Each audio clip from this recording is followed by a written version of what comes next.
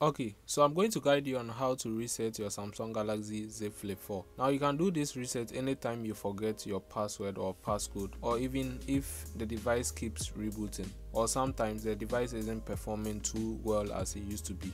Now before you reset your device, you need to make sure you know the actual Google account that was logged in into the device because at some point after the reset you'll be asked to enter that account to be able to use the device.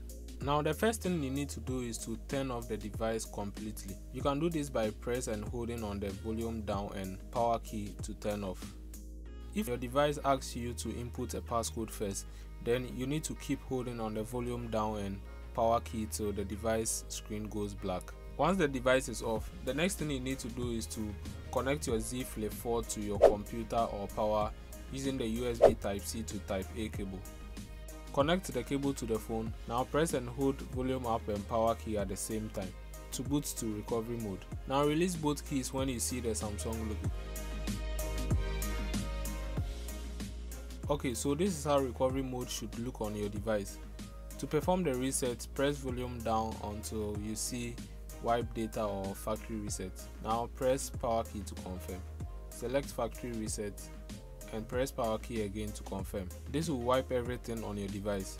In my case, I'm not going to be resetting this device.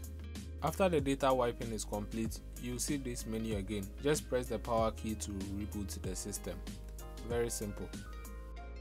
I can say the Galaxy Z Flip 4 is an amazing device with some crazy features, I know you know. So if you found this video helpful, please drop a like. Also, leave me a comment and I'd love to read some comments from you guys. Don't forget to share with your friends and stay safe.